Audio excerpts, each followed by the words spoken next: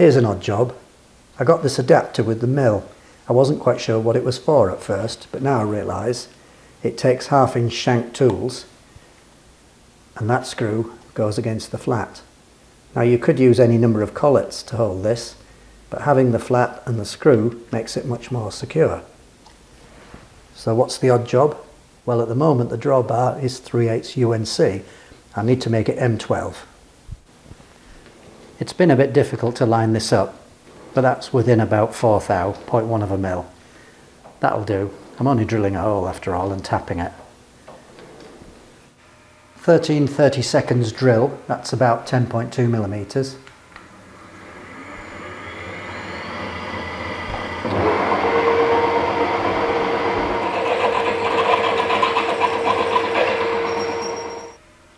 How deep should the hole be for the thread? Well, when I look at this adapter, it's about one and a half inches. And then when I check the spec, it's 33.5 millimeters. These machine taps are really good. They weren't expensive, but they're as sharp as anything and really tough. Started off in there. It's fairly soft this, and I did wonder if this adapter isn't homemade.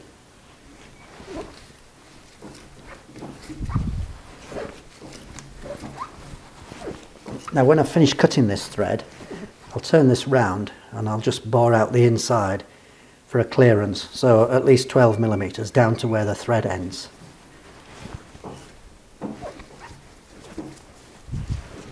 When I say bore out, of course I mean drill out. According to the spec, the thread length should be 24 millimeters, but to allow for the taper on the tap, I've taken it into about 30, which is the end of the threaded part on the tap. So in a moment, we'll try it in the mill. Well, now I've cut that 12 millimeter thread, it screws nicely onto this drawbar. This is the drawbar from the vertical milling head on the Harrison. Kind of looks good, doesn't it? Except I forgot the basic rule.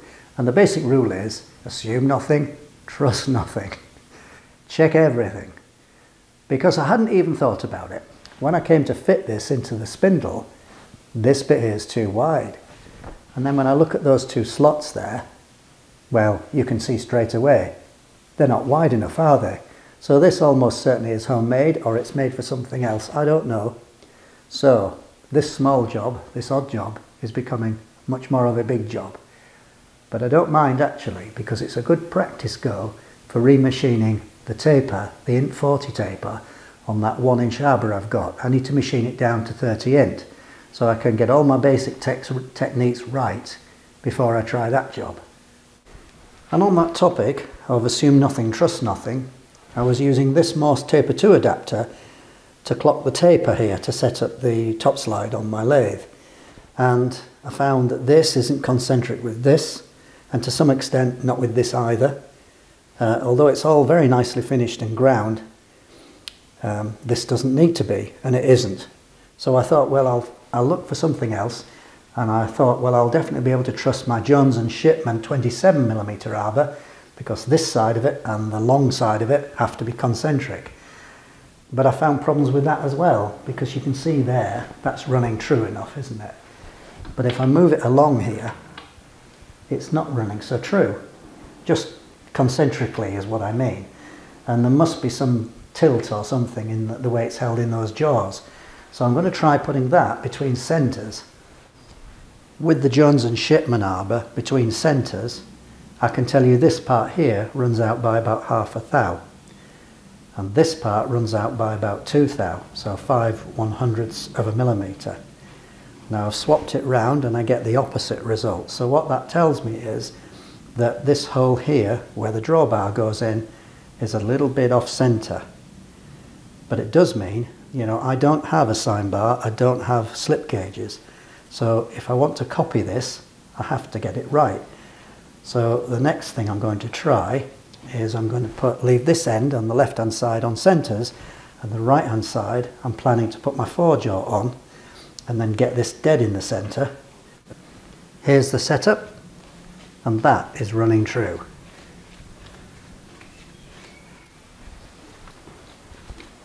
Oh, or near enough anyway. There is a little bit of this if I heave at it, I can't help that.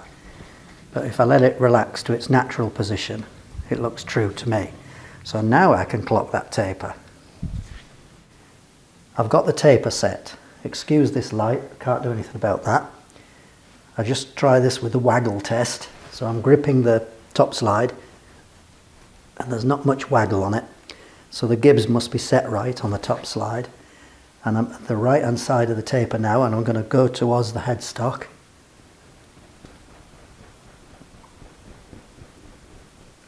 And I think that's good enough. If I rotate this, bit of a jump there as it go over, uh, goes over a bump, but otherwise I think it's fine. So I'm happy with that now. It's taken a while. Yeah, that's good, isn't it? Yeah. So I've put this fitting in the four jaw and I've clocked it and that clock's concentric, fine. I've shortened it by about a millimetre because according to the spec between that face and this face it was about a mil long, it should be 70 mil. So all that's fine. But then I had a think. This is just a sort of a driving flange here. I can't be sure that that's actually at 90 perpendicular to anything. So, I can't trust any of this. The only thing I can trust is the place where the tool goes into the front of this fitting. So if I mount that, say in a collet, it's a half inch, um, takes a half inch tool. If I put a piece of half inch bar or something in a ER32 collet and then put this on it, sticking out, let's clock this and see if that runs true. If it turns out this taper isn't concentric with the tool holder hole, I'm kind of stuffed anyway, aren't I?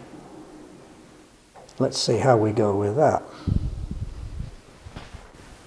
Half inch silver steel in an ER32. Trust nothing. I had to hit this to get it running true. I measured here, this is absolutely true. This was all over the place. I've tightened it, did everything right I think, but hitting it was what I needed to do. That's near enough for that. Now then, let's take our job. This is a reasonably tight fit on there. Well, that's not bad at all to say that it's just a single grub screw holding this onto this piece of half inch silver steel. I don't know what it's like further up.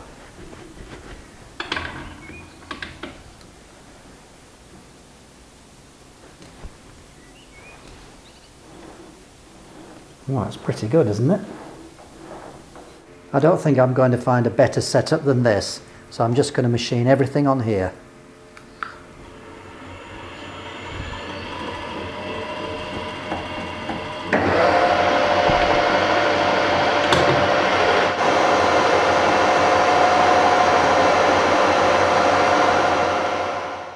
It's taper time and there's about two millimeters to come off this so one millimeter on the dial.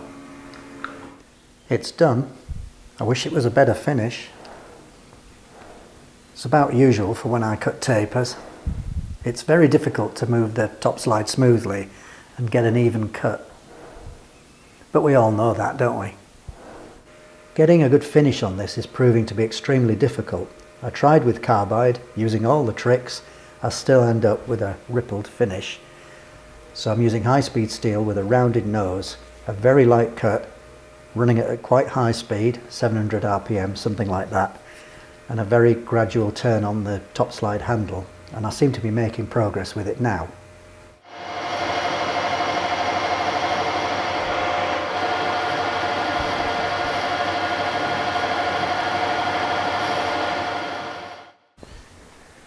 Well, that's the finished job. Now, although that surface has got some scratches in it, it's smooth. What I mean is, with the carbide, it was undulating. I could feel it with my fingers doing this. And that doesn't feel like that. Now, as far as the scratches are concerned, I guess it's just the material. I'm certainly not going to blame my machining. And it's so difficult advancing the top slide by hand because you can't get a constant turn on it. Well, as per the spec, I've left a flat shoulder here. Should be 1.6, it's probably nearer 2. I don't think it matters. And the taper finishes at 31.6. Now it should be 31.75. It might mean that this goes slightly further into the spindle nose than I would like, but if need be, I'll just take a bit off this face here, um, and I'm sure that will be fine. So I'm going to leave this setup in place, get these cut, these slots cut here. Try not to spin my micrometer round. Get these cut. This should be 16 mil wide. Try it in, and then I can come back to cut this face if I need to do that.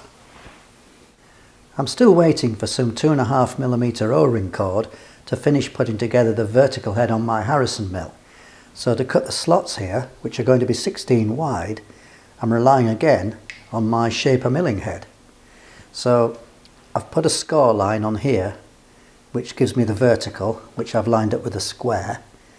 And then I've got a small drill in the milling head and using that to line up the head with this line here.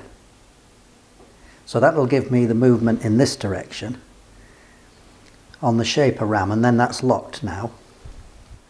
And I've got the INT30 adapter in a four-sided indexing block in the vise on my shaper table and of course that's the milling head. Well we start by touching off. Okay, wind across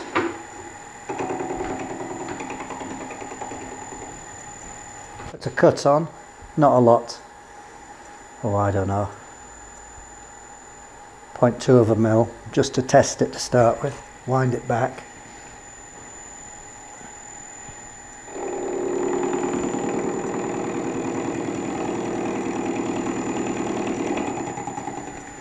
Well, it's done that without too much complaint. So put another cut on. 0.2, point, maybe 0.4 of a mil that one. See what this does. It's going to be a slow job, isn't it?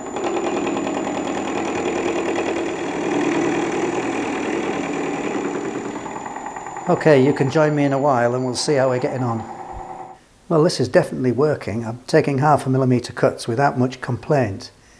It's just going to take a while, that's all. This might be the last cut. I've been taking 0.4 millimeter cuts. I found it was better to take the lighter cuts. I could just work more quickly that way because it's quite difficult to turn the handle and make it smooth.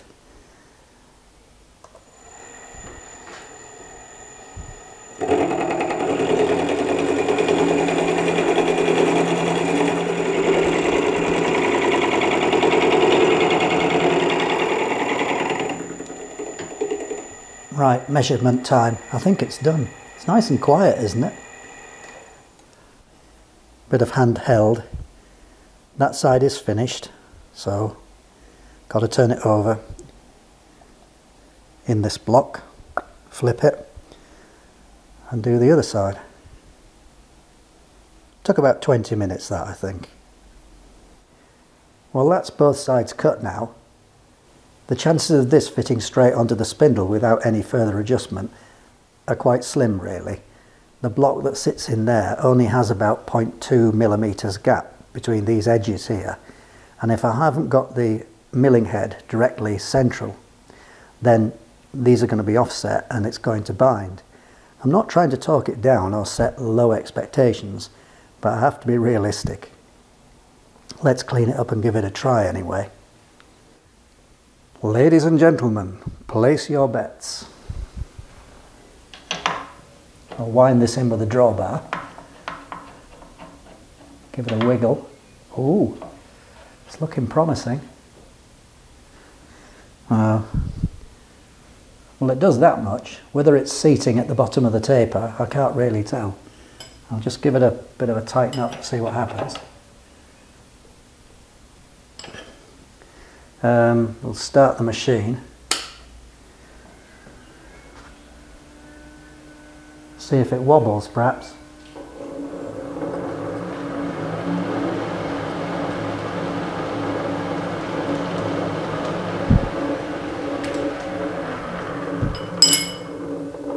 Let's try higher gear. Really what I need to do is put a tool in there. Let's hold on a minute.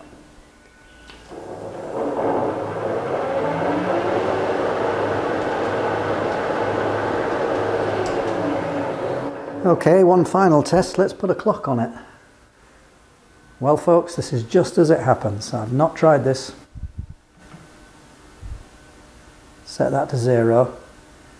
If it's within 0.1 of a mil or four thou, I'd be ecstatic. Let's give it a go.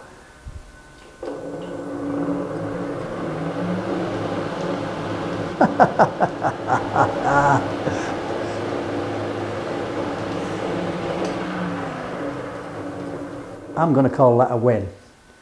I hope that was interesting. Thanks for watching. Well, I think that was the toughest test yet for the Shaper mill, and it's proved itself very capable. Who would have thought? Just a postscript. When I came to extract this, I found that the taper had locked in here, and I had to extract it with a drawbar, which is just what you'd want, isn't it? Very pleased with that.